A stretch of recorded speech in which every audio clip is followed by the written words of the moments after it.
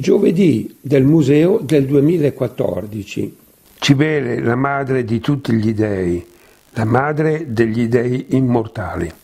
Il titolo della conferenza Sacri Misteri, Cibele, la madre di tutti gli dei, conferenza di Anna Maria Volontè.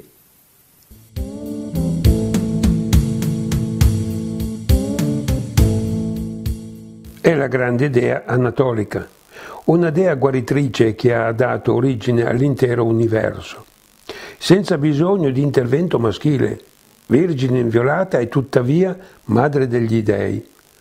La grande dea anatolica si manifestava nella sua dura sostanza della roccia e si riteneva fosse caduta dal cielo sotto forma di una pietra nera. Sul confine occidentale della Paflagonia, che è una regione a nord della Turchia, dove abitava il popolo ittita, c'era una scogliera deserta che si chiamava Agdo e Cibele vi veniva adorata sotto forma di una pietra nera. La leggenda narra che Zeus era innamorato di Cibele, ma invano tentava di unirsi alla dea e nell'angoscia di una notte di incubo, mentre la sognava ardentemente, il suo seme schizzò sulla pietra generando l'elmafrodito Agdistis.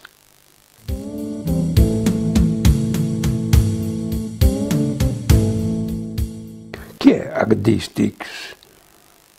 Agdistis, il mito. Questa è un'altra versione. Una notte, durante un sogno agitato, Zeus fece un sogno in cui giaceva con una donna. Il suo seme arrivò fino alla terra generando Agdistis, un giovane. Subito fu evirato da altri dei diventando una donna. Dal membro perduto nacque una pianta di mandorlo.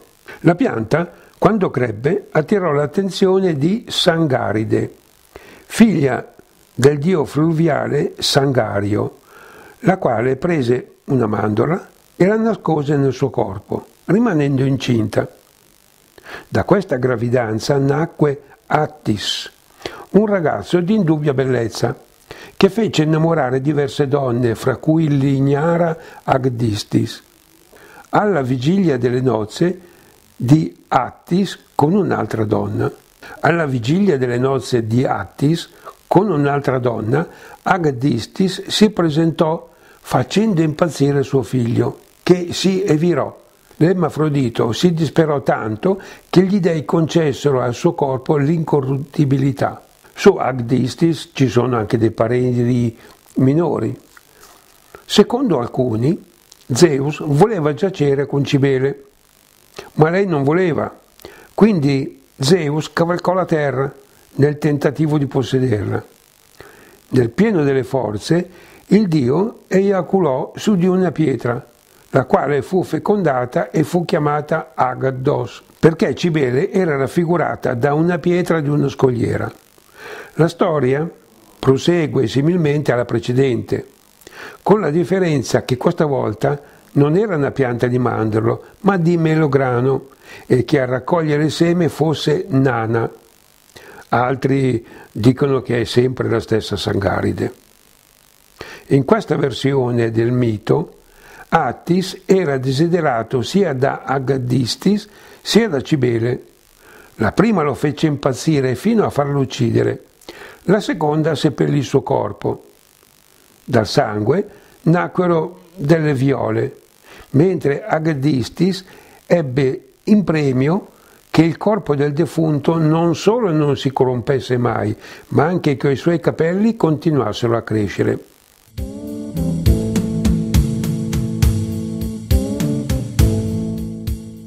Agdistis era malvagio e violento con le sue continue prepotenze aveva già maltrattato tutti gli dei, sicché Dioniso, giunto all'esasperazione, volle vendicarsi e architettò ai suoi danni uno scherzo atroce. Gli portò in dono dell'ottimo vino e lo accompagnò a bere in cima a un grande albero di melograno, affinché Agdistis si addormentò ubriaco fradicio in bilico su un ramo. Pian piano, con una cordicella, Dioniso gli legò i genitali al ramo e, sceso a terra, scosse l'albero con tutta la sua forza. Nel brusco risveglio il malcapitato precipitò, strappandosi di netto il prezioso organo. Così Agdistis morì dissanguato, mentre il suo sangue lavava il melograno e lo faceva rifiorire rigoglioso e stupendo e carico di succosi frutti magici. La ninfa del Sangario, il Sangario, nella mitologia greca, era il nome di una divinità fluviale che, collegata al corso dell'acqua del Sangarius, che è l'odierno Saccaria. Quindi la ninfa del Sangario, la ninfa del Sangario, nel fiume che scorreva nelle vicinanze, sfiorò con la sua pelle vellutata uno di quei frutti e rimase incinta del Dio. Fu così generato Attis il Bello, il grande amore di Cibele. La signora delle fiere suonava la lira in suo onore e lo teneva perennemente occupato in voluttuosi amplessi.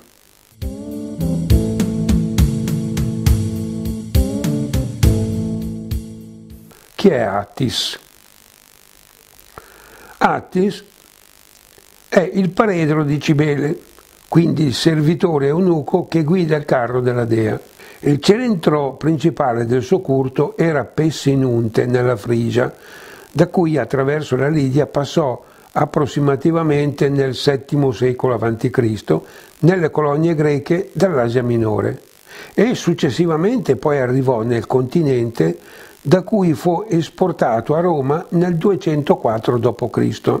Secondo una tradizione frigia, Attis è un demone bisessuale.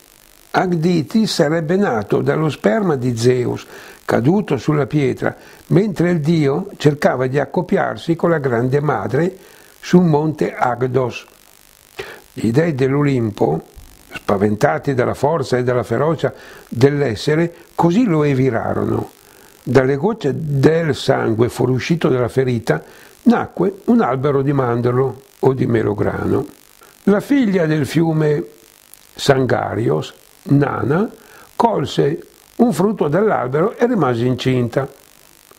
Tempo dopo nacque il figlio che venne chiamato Attis, in quanto fu allattato da una capra, che nella lingua frigia era Attagos, dopo essere stato cacciato sulle montagne per ordine di Zaccaria. Attis crebbe e fu mandato a Pessinunte per sposare la figlia del re Mida. Durante la celebrazione del matrimonio, Agdistis, innamorato del giovane, fece impazzire tutti gli invitati e lo stesso Attis, che si recise genitali sotto un pino. Dal suo sangue nacquero le viole mammole. Cibele, madre degli dei, ottenne che il corpo del giovane rimanesse incorrotto. Attis e il culto nella Roma antica. Già dal primo secolo a.C. le vicende del giovane erano ben note ai romani, come dimostra la sua reinterpretazione cattuliana del mito del Carmen. In epoca imperiale il ruolo di Attis, la cui morte e resurrezione simboleggiava il ciclo vegetativo della primavera, si accentuò gradualmente, dando al culto una connotazione misterica. Ad Attis erano dedicate un ciclo di festività che si tenevano tra il 15 e il 28 marzo, che celebravano la morte e la rinascita del Dio. Tra queste vi erano il Sanguemen e l'Ilaria. Tracce di questi culti, che presero il nome di Attideia, sono presenti anche in colonie greco-romane, ad esempio quella di Egnazia in Puglia. Dal suo mito l'imperatore Flavio Claudio Giuliano inizierà a scrivere uno dei suoi famosi testi, l'inno alla madre degli dei, in cui loda Cibele e indaga sul significato filosofico di Attis e della dea. Il dio Attis è associato dagli studiosi a tutte le divinità legate agli antichi riti di propiziazione della fecondità della terra, che trovano corrispondenza in Adone.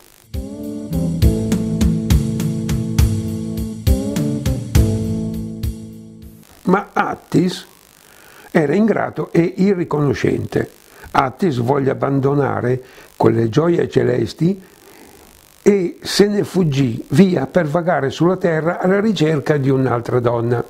Cibele sapeva bene che nessuna infedeltà avrebbe potuto sfuggire alla sua vista onnipotente e, trainata dai leoni, lo sorvegliava dall'alto del suo carro.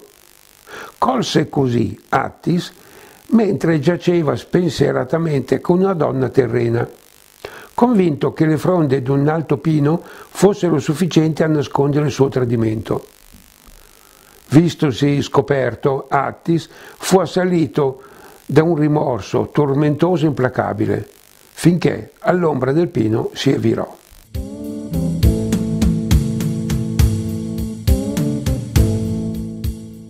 Così inventò la castrazione divina. L'immagine dell'ape regina che durante l'atto nuziale effettua la castrazione del fuco incarna l'essenza del mito su Cibele.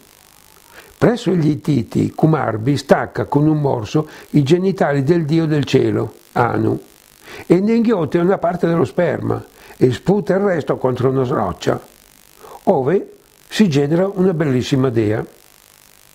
Benché l'argomento apparentemente pellegrino, la castrazione è un tema mitico che è universalmente diffuso e si collega al nucleo della trasmissione del potere regale, di cui si è alimentata tanto una tradizione egiziana, quella di Osiride, e quella greca con Urano. Il culto di Cibele. Cibele era la grande madre di tutti i viventi, protettrice della fecondità, signora degli animali selvatici e della natura selvaggia. Attraversava le foreste e montane su un cocchio tirato da leoni e accompagnata dal corteo orgiastico dei coribanti.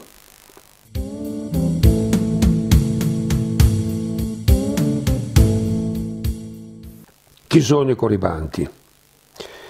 I coribanti erano i sacerdoti di Cibele, una che, una, che è una divinità nata dall'unione tra Agea e Urano.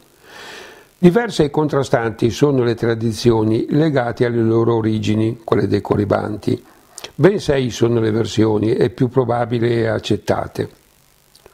Sono i figli di Apollo e Talia, la musa della commedia. Sono nati dall'unione di Sauco e di Combe, una ninfa, figlia del fiume Asopo. Una tradizione sostiene che erano i figli di Crono. Erano ritenuti anche figli di Elios e Atena. Nacquero dall'amore di Zeus e di una musa Calliope.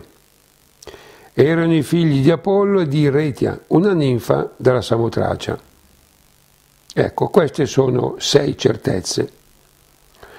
Onoravano la loro dea con danze sfrenate e orgiastiche, Durante queste numerosissime feste spesso si infliggevano volontariamente delle ferite. Erano gli inventori del tamburo a cornice, quello senza fronte. Creavano musica basata sul ritmo ossessivo per curare l'epilessia e per sconfiggere la malinconia di Zeus. Inoltre onoravano il pino in onore di Attis, il figlio della dea.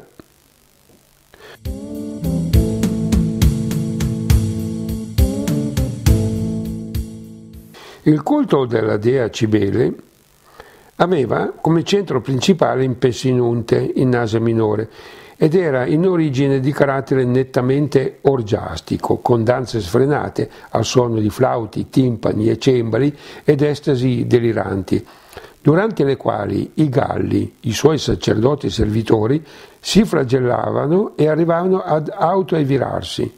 In seguito il suo culto Passò in Grecia e specialmente a Creta, sotto il nome di Rea.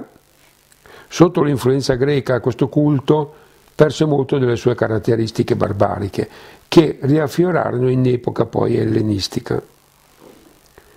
A Roma ella fu venerata a partire dal 205 a.C. come simbolo di fecondità.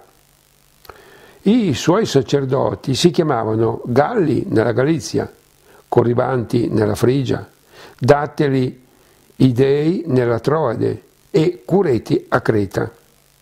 In suo onore furono incisi svariati fregi e solchi su marmo, quale atto per ridestare l'insita sua presenza. Santuari imponenti le venivano dedicati e in posti inaccessibili, ricavandoli nelle pareti a picco a mille metri sul mare. Il suo misterioso culto cottonio era praticato nelle fenditure della montagna, entro nicchie e gallerie. Talora l'apertura era in un lontano punto visibile su un dirupo, tal'altra corrispondeva al, al punto più alto di un'acropoli. Era l'ingresso a tunnel scavati interamente nella roccia, con gradinate discendenti nelle viscere della montagna, ad andamento elicoidale e senza sbocco. Ieratica in trono, Cibele riceve gli omaggi delle processioni che avanzano al ritmo frenetico di timpani, cembali, flauti e tamburi. Porta sul capo un ordamento cilindrico, di solito a forma turrita. È coperta da un velo e da un mantello. Regge uno specchio nella mano e sette volte su dieci possiede una melagrana. Come Demetra, impugna le spighe d'orzo come Demetra, impugna le spighe d'orzo fornì, che fornivano una bevanda allucinogena. Il leone è il veicolo di Cibele ed immancabile lo troviamo sempre ai suoi piedi, anche nei bassi rilievi della corrispondente dea Ittita, la Kubaba, compare un leone ai piedi del trono. Ma non solo in Anatolia nel 1200 a.C., l'iconografia di una donna nuda in equilibrio sulla schiena del leone era presente in una vasta area del bacino meridionale del Mediterraneo che interessava gli Assiri. In questo caso era Ishtar, per i Fenici Astarte e per gli egiziani Qadesh. La criniera del leone e le sue fauci spalancate sono l'emblema del pube femminile. Solo più tardi, quando le società patriarcali hanno sviluppato concezioni del pelo leonino, è stata proiettata l'immagine raggiata della corona solare. Non deve stupirci la banalità dell'attribuzione sessuale. L'idea dell'antro genitale femminile è insita nel nome stesso di Cibele, che significa grotta. Bisogna considerare che in Cibele c'è la continuità con le semplici concezioni religiose dell'uomo nel Neolitico e che in Anatolia già nel 6000 a.C. la grande dea veniva rappresentata seduta in trono fra due leonesse.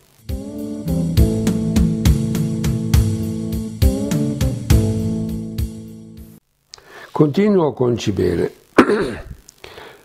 Cibele è anche la Magna Mater, che è patrona dei Memnadi di Lidia e nel mito greco fu assimilato a Rea, è associata a Demetra, è venerata dovunque, in genere sotto l'appellativo di Grande Madre o Madre di tutti gli dei.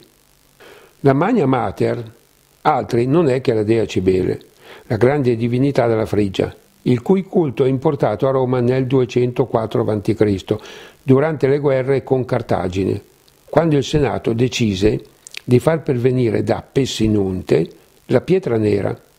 Pietra nera è una pietra magica perché è caduta dal cielo, che è il simbolo della dea e di costruire un tempio sul Palatino. Nelle intenzioni del Senato, il culto di Cibele avrebbe forse rinfrancato il sentimento religioso e il morale della popolazione, che era stremata dalla guerra. L'adozione del culto di Cibele sarebbe stata suggerita dagli auguri che avevano consultato i libri sibillini e ne avevano ricavato un'allusione alla dea e all'opportunità di introdurla in Roma, ma questo per avvantaggiarsi, questo per avvantaggiarsi nella situazione bellica.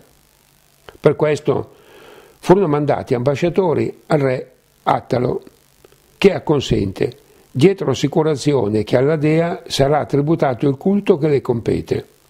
A Roma, la pietra sacra doveva essere accolta dall'uomo e dalla donna migliore tra i cittadini.